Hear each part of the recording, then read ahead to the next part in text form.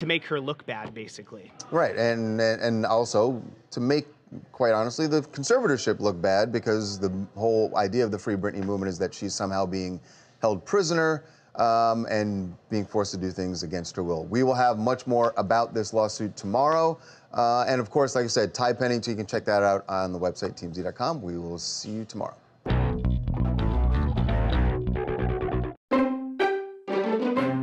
I'm a lawyer.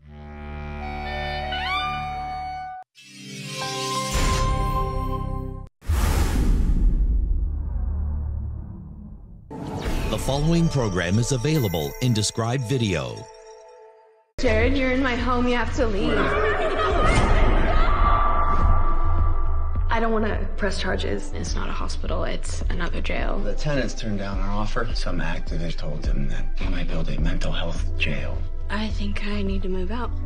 I think you do too. Shame on you! I violated a restraining order. What? They're taking me to trial. What about the deal? They took it off the table. So these feelings, we just don't feel them anymore? I can't.